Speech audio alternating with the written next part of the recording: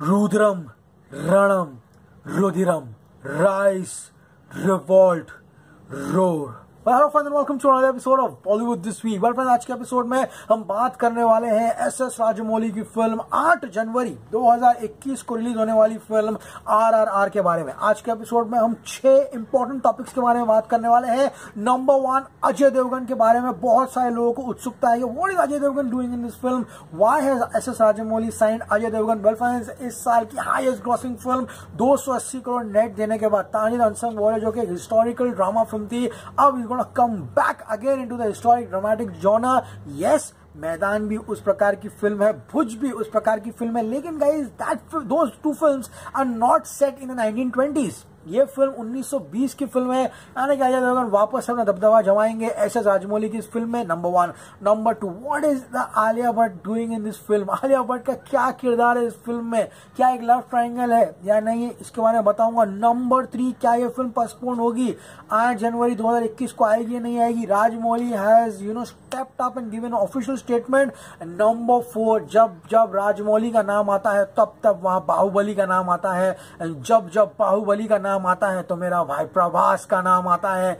Huge update on Prabhas next film and yes मेरा भाई Rajamouli has given an official statement what is the whole concept about the fire and water उसके बारे में बात करेंगे। क्या no Baahubali two the conclusion जैसी इतनी बड़ी फ़िल्म देने के बाद राजमौली को प्रेशर है आरआरआर को लेके। सारी की सारी इन्फॉर्मेशन चलिए शुरू करते हैं। वेल फ्रेंड्स आरआरआर यानी कि Rudram Ranam Rudhiram rise revolt roar Ram Charan plays Alluri Sitarama Raju junior NTR plays Komaram Bheem पहले शुरू करते हैं मास महाराजा अजय देवगन से।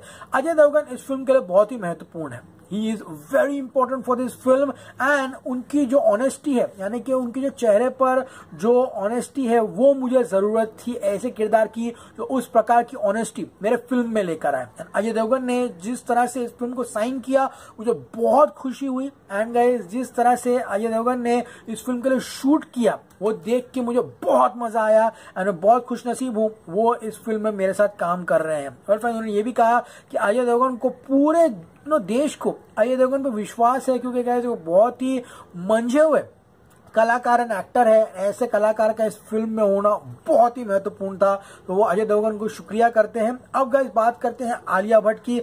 आलिया भट्ट का इस रोल में लव ट्रायंगल नहीं है।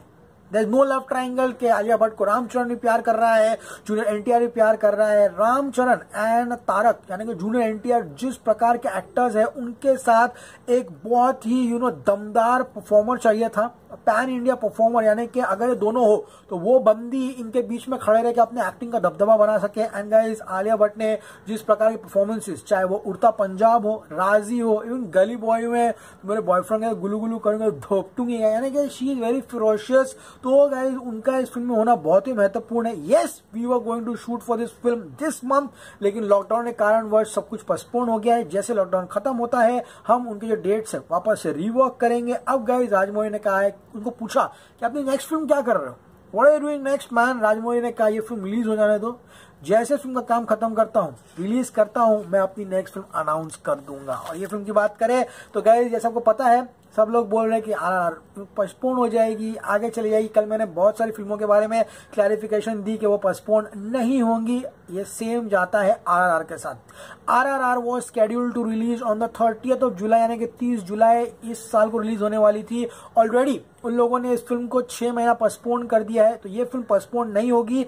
80 percent of the shooting has been done almost simultaneous VFX has been done Rajamouli ने क्लियर किया है कि we will come on 8 January 2021 आग, पानी, अग्नि, जल, दोनों जो है बहुत ही ऑपोजिट है, यानी कि एक दूसरे को नष्ट करने की क्षमता रखते हैं, यानी कि both can destroy each other लेकिन अगर आग और पानी दोनों साथ में मिल जाए तो वो स्टीम उत्पन्न करते हैं and this team which will be use to run the motor of the world ये राजमौली के एग्जैक्ट स्टेटमेंट्स है।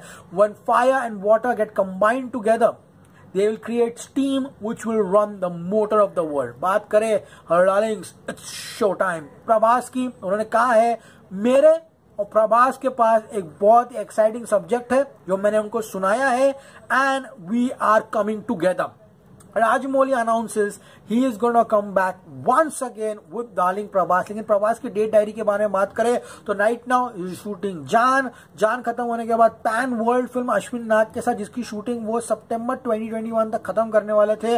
लॉकडाउन हो गया। चलो, पकड़ के चलो अक्टूबर या नवंबर तक वो फ़िल्म खत्म होगी। राजमौली ने कहा है, वो अपनी फ़िल्म नेक्स्ट अनाउंस करेंगे। जैसे आर खत्म हो सकती है तो expect twenty second film of Prabhas to be with S S Rajamouli अभी कुछ कंफर्म नहीं है उन्होंने प्रभास को टॉपिक सब्जेक्ट सुनाया है, दोनों को पसंद आया है एंड राजमौली ने कहा है कि we will come together guys exciting times ahead for south film industry हमने बात किया अजय देवगन के बारे में, आलिया भट्ट के बारे में, किस तरह से राजमौली अपनी नेक्स्ट फ़िल्म अनाउंस करेगा as soon as R R R releases आग और पानी के टॉपिक के बारे में, प्रभास की अगली फ़िल्म के बारे में ये फ़िल्म पोस्टपोन नहीं होगी. गाइस आई आज का एपिसोड आपको पसंद आया होगा. एपिसोड पसंद आए प्लीज़ चैनल को लाइक कीजिए शेयर कीजिए सब्सक्राइब कीजिए. Signing off you you very soon. Till then, as always, stay cool, man.